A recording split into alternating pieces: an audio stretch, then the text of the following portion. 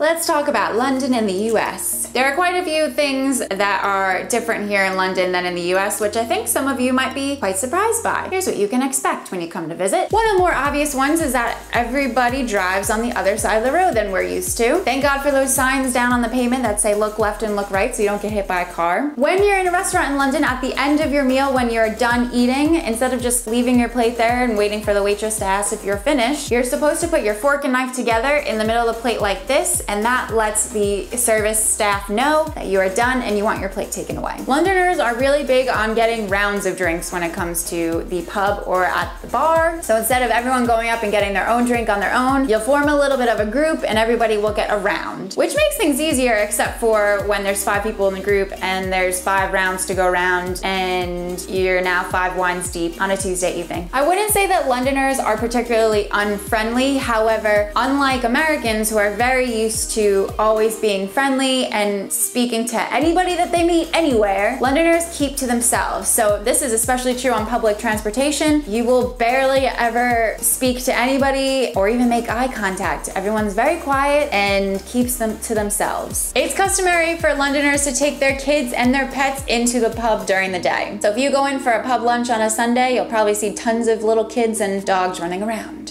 Something we're not used to in the States is actually having good food at a place that you can also get good drinks. There are many, many pubs around London and the UK that actually have really amazing food for lunch and dinner. So if you find a nice one, why not just have some lunch? The trick is that you'll probably have to order at the bar. So take a menu, pick what you want, and order everything at the bar and pay there as well. Because it doesn't usually get very hot here, there are a lot of places in London that don't have air conditioning, or aircon as they call it. For example, probably most of the Airbnbs that you might rent out won't have aircon. The flat I live in doesn't have it. A decent amount of restaurants and bars will have it just because it can get really hot with so many people in there. But don't come here expecting to have cool air everywhere you go. Tax on items that you purchase is included in the price of the item. I love this bit. I And I forget every time I go back to the US that there's tax added onto the price that's on the price tag. It's not like that here. So if it says this pair of shoes you want is 19 pounds, you are going to pay only 19 pounds. Here in the UK, cheese as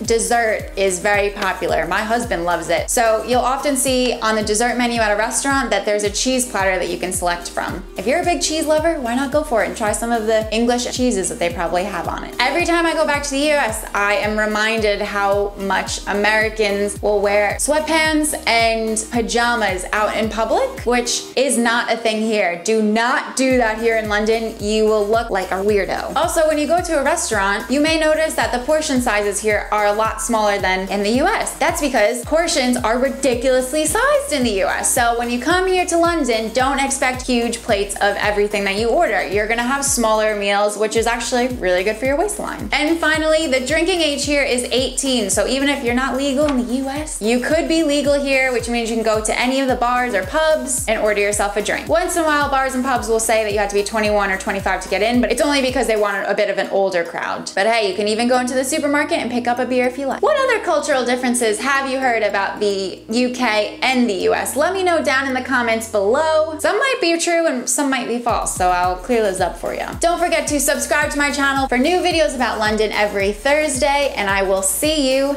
next week.